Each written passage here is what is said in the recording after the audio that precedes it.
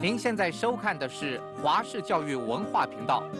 接下来要播出的是《货币银行学下》。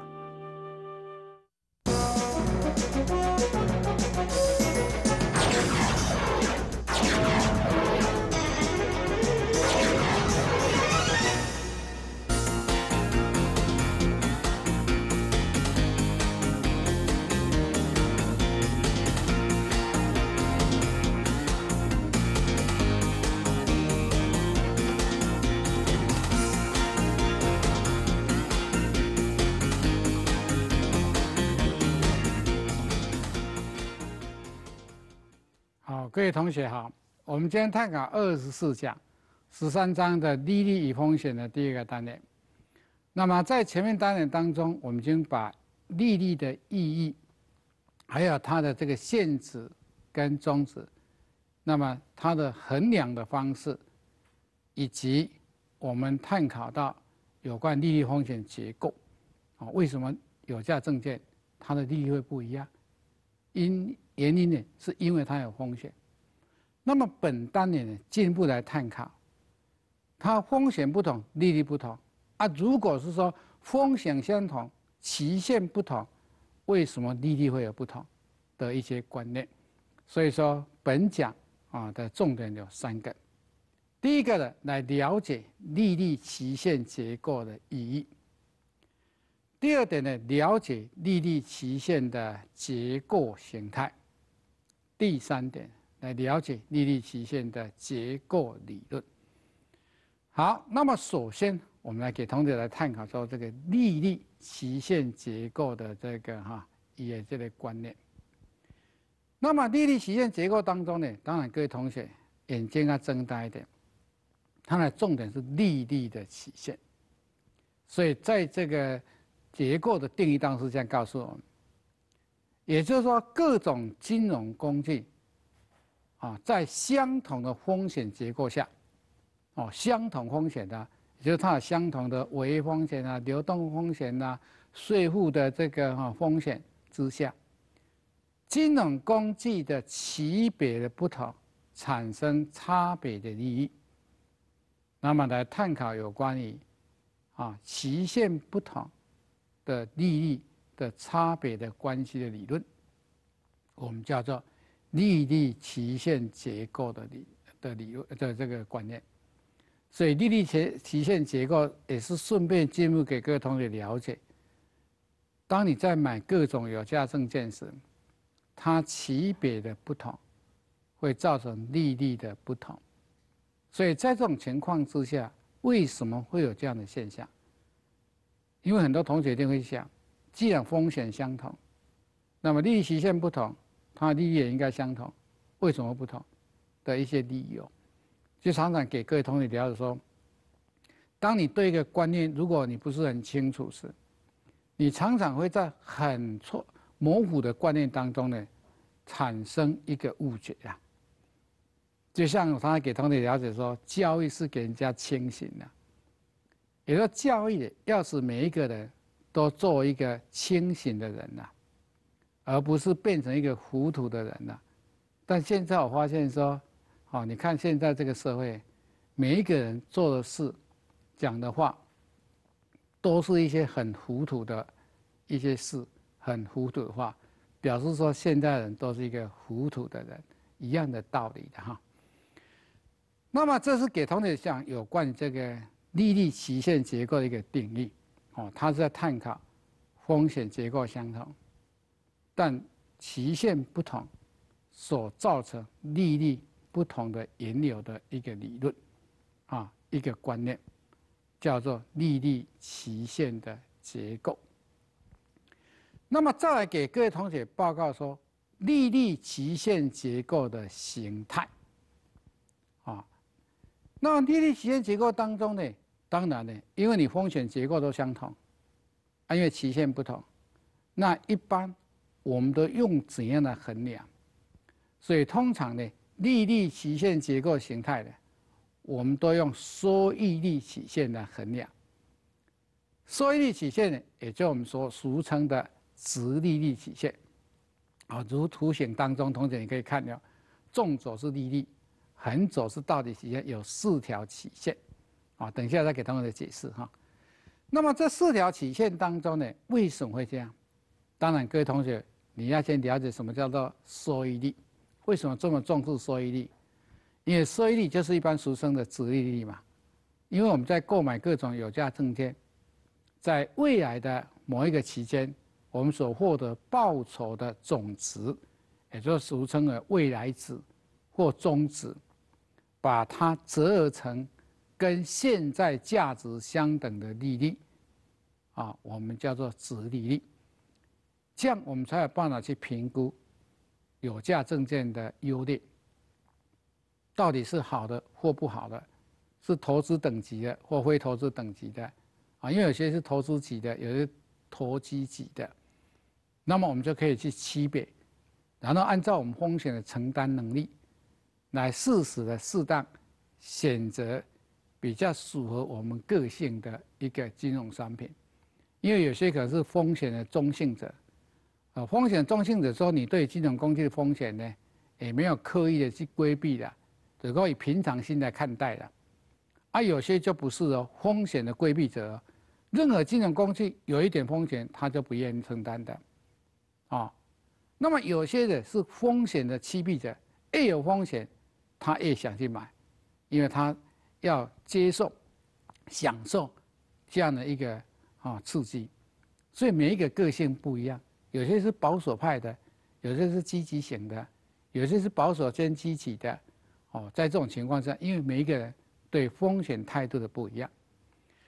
那么通常呢，这个利率曲线结构的形态当中，我们都用收益曲线。那么收益曲线像图中有四种类型。好，我们现在依序的给各位同学做一个分享。有这个分享当中，各位同学可以了解很多的意义跟哲理。第一个，我们叫上升型的收益曲线。通常上升型的收益曲线，它会上向上扬。一般都把它规定比较平常的情况了。等于正常的情况之下，有价证券的利率是会随着时间的增长，它利率会提高。也就是说，未来的情况之下，通常长期利率会大于这个短期的利益。只供正常的经济情况呢，用短。啊，这个一般说短低长高嘛，等大大家对未来的前景都非常乐观，啊，非常乐观，啊，对整个经济的看法呢，也都蛮正面的，所以大家在这种情况之下呢，大家的就愿意增加长期的投资，就像我们在看国际收支平衡表当中，如果你的进口比较多，是一个好现象，表示人们乐意购买这些资本财。因为资本财累积，就可以获取未来的庞大竞争力嘛，生产力嘛。所以坦白讲说，在看一个事情当中呢，关键就在说你对未来。哦，像现在大家的对未来看法都比较悲观，啊，比较悲观，哦，对未来的经济看我好像不是那样的好。这个是政府应该去了解的，啊，不要说自我感觉很好。任何一个政策，当我们去采用时，我们一定要很谨慎的。这种政策可以吗？这个政策可行吗？这个政策可靠吗？我们做什么事情，我相信各位同学，这三句又很重要。可行吗？那可可以吗？可行吗？可靠吗？你这样的评估。你的政策应该都很妥当，你的行为应该中规中矩，这是很重要一个观念。好，我们先休息一下。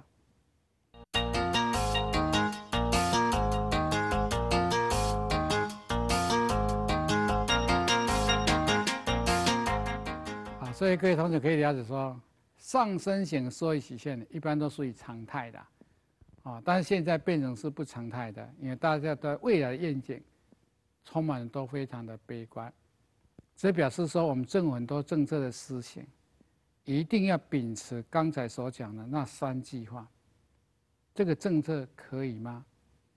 这个政策可行吗？就可爱吗？人民能接受吗？这个政策可靠吗？真的不这样的思考，茫然的提出政策，是一个罪过，真是一个罪过，是要受报应的。第二个呢，啊，是一般所讲的下降型的，啊，所以收益曲线是向下倾斜，一般比较啊这个偶然的，对讲也有价证券随时间啊也利率随时间增长而下降。我想这是对未来经济的一个悲观呐，可能一些经济风暴啦、金融风暴等等没有，都对未来经济看淡的了。我们现在的社会就变成这种现象，包括日本很多国家，你看利率都一直在低。哎，同学你要了解呢，按照凯恩斯的观，利率是生产力的象征的。利率的下降是表示一个国家生产力的降，那是一个负面的，不是健康的现象呢。坦白讲，利率很低是表示你这个国家的经济体质很弱呢。就像说一个人，啊，萎靡、精神不振，表示你的健康发生问题了嘛。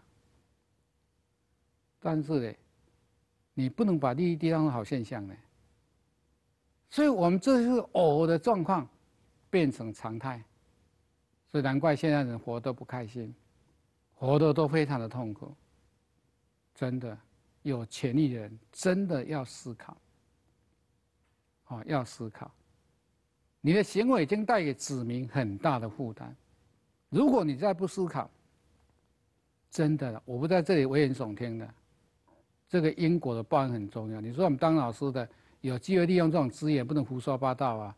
哎，这样因果报应的呢？是不是这样？污染人家的心灵，污染人家耳朵，很重要呢。所以起心动念要有助于大家健康观念的兴起，能为这个国家、为这个社会、为众生来带来更大的服务跟贡献。所以人的存在是为服务他人的，你服务多少，你功德就多少呢，而不是在造福自己呢。所以现在很该死的自私自利，那是在自寻坟墓的哈。所以各位同学，现在变成一个下降型，非常的糟糕。第三个啊，C 型就是说水平型的，啊，也说曲线是水平线的，也就是说对整个经济看法的，说一般所讲很平稳，说好也不好，说不好不好，啊，稳定的状况，所以长短比例也差不多一样的。不过坦白讲呢，在现实社会当中，不是你高就是我高，你低就是我低啊。通常要这样是很难呐，啊，因为人嘛，没潜力很谦卑，没钱很谦虚，一有潜力一有钱，就胡胡伟乱乱做的了。为什么？所以说人哈，本来没钱过得很稳定的生活，没潜力过得很稳定的生活，一有钱一有潜力，就方向走板了。但是这是一个理论呐，一般稳定说长短利率都一样哦，不可能，因为经济成长各种现象都往上提升一定的了，啊，不可能都是说一般都很平稳，不可能。那么在第四种是峰状型的，啊，所以曲线先升后降，啊，就是说初期看好，到一个顶点都会下降。所以说初期时呢，它的长期利率会大于短期利率，然后呢，长短期会相等，然后呢，短期利率又大于长期利率，所以讲当然起伏啦，啊，就像人世间当然呢都是会起伏波动嘛，经济嘛赶快。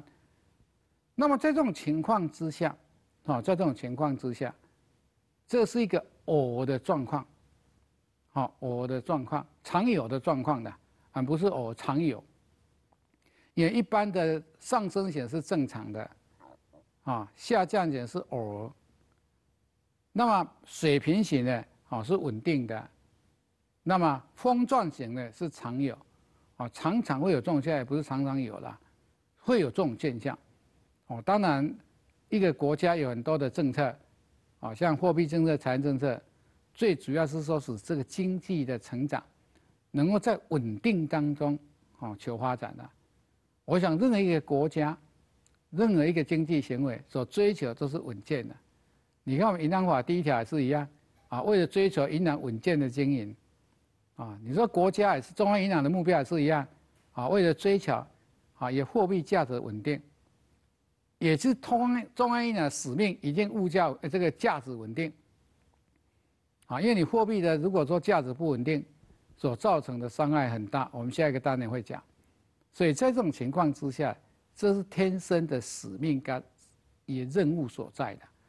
好，所以说一国的政府，当然利率的关键是在中央银行，啊，然后当然怎么样的使这个利率啊稳定。平心来讲，现在我们利率很低哈，是全世界各国的了。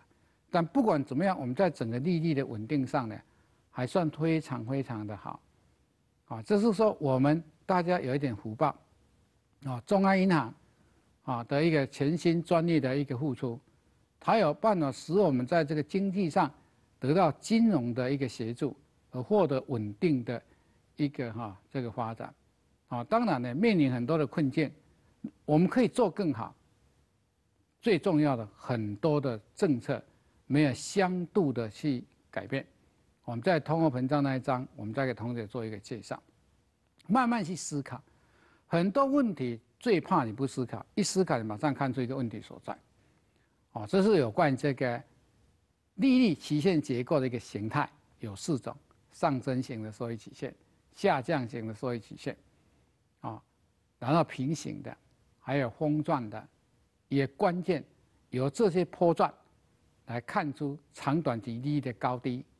进而就可以看出未来经济的好或不好，或悲观或乐观或稳健的一个情形。也就透过这个收益曲线，很类似我们景气灯啊，是蓝灯、绿灯啊、黄灯的一种信号。那么再来讲第三个观念，这个利率曲线结构的理论。这个利率曲线结构的理论呢，最主要是告诉同学。为什么金融工具的风险都相同？因为期限的不同，它会有不同的这样一个利率的一个关系理论，也就来探讨风险相同，因金融工具期限不同而所造成利率差别的一个关系的理论，我们叫做利率期限的这个理论。那么，通常利率期限的理论呢，有三种。啊，有三种理论。那么第一种是无偏性的预期理论，第二种理论呢，啊是一般说市场区隔理论，第三种理论呢，也叫流动性溢价理论。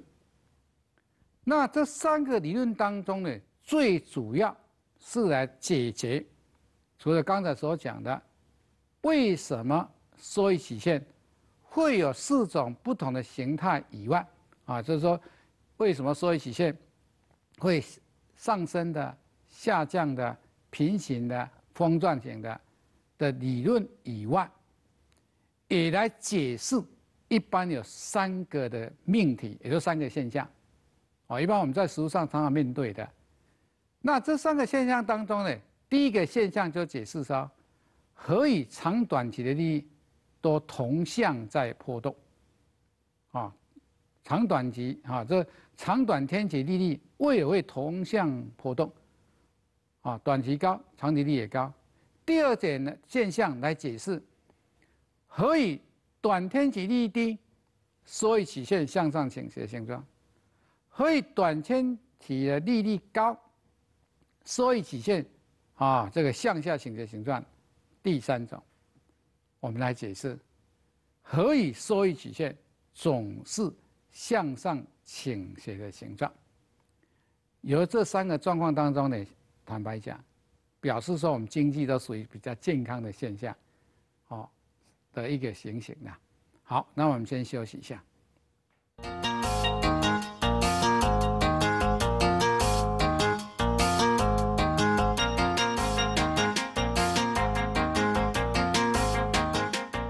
那么现在我们来一给同学介绍说无偏性预期理论。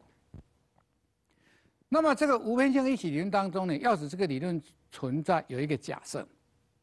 这个假设当然，一现实社会当中呢，有些是不切实际的。啊，第一个是说没有交易成本，第二个是没有违约风险，第三个没有期限的偏好，等于说任何金融工具都可以完全替代了。第四个，哈，第四个，我们都可以正确的来预测未来的利率。第五个，厂商都追求利润最大化了，啊，是有这样的一个假设，所以常常给同学了解说，我们在探讨这些理论的时候，到底这个理论可不可以用？必须将这个理论，把它啊变成现在可以解释的，也能力有多广？对方把这个理论用来解释现在的现象。有多少个解释能力？如果解释能力很低，税务能力很低哦，这个理论就只能做参考。如果解释能力很高，税务能力很强，我们就可以做参考。哦，所以说在利用这个理论当中呢，不要被它所迷惑困惑，而不懂得突破，不懂得应用。所以现在都变成都是读书的，有知识没智慧的，知识是比别人读的很多啦，对不对？但是呢，做起事来的芳香卓板呐，令人叹为观止的，给人家感觉说，倒不如不读书。为什么书越读越没有智慧的一个困境？那么它的意义呢，就是说，长期在建的这个利率，在它有效期限之内啊，例如两年、三年，所有一期利率的一个平均值。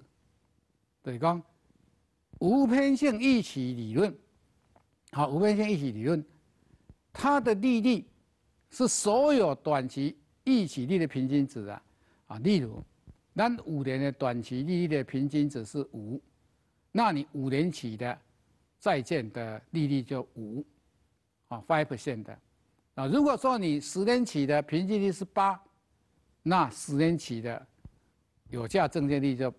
百分之这个哈八，那就很清楚了，也就是你的平均值多少，你的有价证多少，因为我们假定所有金融工具都可以互相替代，所以这样呢，你就可以很轻易的来规划长期债券这个利率，完全是按照短期利率的一个哈预测来决定你长期，哦，这样就可以把短期跟长期的利率呢。能够再连接在一起，好，连接在一起。那么有关于这个无偏性一起理论呢，它可以用来解释刚才所讲的三大命题当中的第一个命题，啊，长短期利率同向波动，何以短天期利率低？那么，E A，啊，所以曲线会向上倾斜；何以短天期利率高？也所以曲线呢会向下倾斜现象。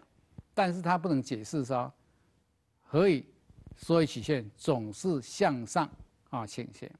好，我们现在先解释第一个现象一，好，无偏性一起零当中我们解释现象，也就命题一，何以长短期利率随时间同向波动？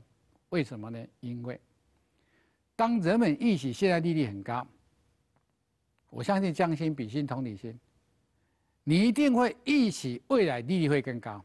因为你现在预期利率已经很高了，但是人们嘛，啊，基于他的预期心理，认为预期会更高，啊，因为长期利率是短期利率的平均值嘛，你现在利率高，当然长期利率也会高啊，因为长期利率预期更高啊，所以的长期的利率跟短期利率会同向的波动，我想这个没有矛盾。啊，一般我们一起说，好，你现在物价上涨的，你为了弥补你工资的损失，你一定要要求提高工资。问题我们的能力有限，你要求工资，人家不一定会提高。为什么？因为我们力量有限，所以这些都要靠政府的力量。因为我们跟财团绝对没有办法跟他抗衡，财团的一点点就把你惹死了，对不对？哦，所以这个很重要的观念哈。第二个来解释，啊，无边相一起理论解释第二个现象：何以短期利率低，所以曲线会向上倾斜；短期利率高，所以曲线向下倾斜。哎，同学要注意啊，这边是何以短期利率低哦。啊，刚才说你预期短期利率高，当然未来短期利率会更高，啊，这个地方是说，现在利率已经很低了，将心比心，现在利率很低，未来一定有提高，就像说现在我们利率都很低，未来提高的几率很大，所以政府就要注意这个利率的问题，否则那些身负房贷的人就会变成悲惨的人生，因为他没有办法缴房贷。你现在利率很低，你借一千万才一点二十万。如果说你给他提高百分之五，就五十万，他一个月一点点赚不到五十万，你要让怎么交还贷？对不对？哎，这很严重哦。所以的，你现在利率低，未来利率一定会更高。当然，长期利率会带来短期利率，收益曲线一定向上倾斜的。啊，现在利率高，未来利率一定会下降，因为高一定往下嘛。哦，这阴阳的道理的，啊，你现在高一定下，所以未来的长期利率一定低于短期利率，哦，就变成说一般所讲的，啊，做一些向下倾斜。再来第二个观念，啊，市场七个理论，这个市场七个理论也叫做一般说篱笆理论呐，啊，这篱笆就表示说你家跟我家可以是完全分开、完全隔离的啦，表示说，啊。他认为说，金融工具不可能完全替代，彼此有彼此的一个供需函数，短期利率决定短期供需，长期利率决定长期供需，长短期利率不会搞在一起，叫做市场七个。那么市场七个理论当中呢，啊，例如各位同学，你现在说如果说你准备储蓄，啊，是为了给那个一般所讲的。啊，子女读大学是用的，你会买比较长期有效证券。如果你的储蓄是为了年度的度假，你会买短期的国库券之类的。表示说，市场资金可以完全七个完全独立，啊，彼此的都有它的供求资金的供求函数来决定彼此的利率。那么市场七个理论可以用来解释现象的三。何以啊？何以需要典型的收益曲线向上倾斜的形状？各位同学将心比心，一般人比较希望这个短期的有价证券，啊，短期需要多，价格当然就高，啊，啊，利率就比较便宜，啊，长期的需要少，价格就比较低，利率就比较高，所以就变成说。因为你对长短期债券的配纳不一样，就造成说长的体力比较高，短期力比较低的一种现象，也就是说，一般的向上倾斜就是正斜率的症状。再最后讲到一个是啊流动性的溢价理论，其实这个流动溢价理论当中呢，它可以充分解释刚才所讲的三个现象，啊为什么还要再讲这个？市场的啊，这个七个理论无边性一起理论呢？因为无边性一起理论跟市场七个理论可以作为流动性溢价理论的基础，而且透过无边性一起理论跟市场七个理论，可以来看出当你的政策有偏误时要怎么去修正。那么这个流动性溢价理论其实它跟无偏性的一起完全都认同，它只不过加上一个流动性的溢价。等于讲流动性的这个溢价的定义，就是说，长期债券的利率是等于所有的短期利率的溢息加上流动性的溢价，哦，加上流动性的溢价，哦，所以这是给各位一个很重要的观念，哦，流动性的溢价，啊，所以说流动性的溢价是告诉你，有价证券价格风险比较大嘛。所以在这种情况之下，我们就可以了解，任何长期有价风呃这个有价证券，也利率一定比较高的，这是必然的，啊，因为时间关系，我们这一讲就到此结束，好，谢谢各位。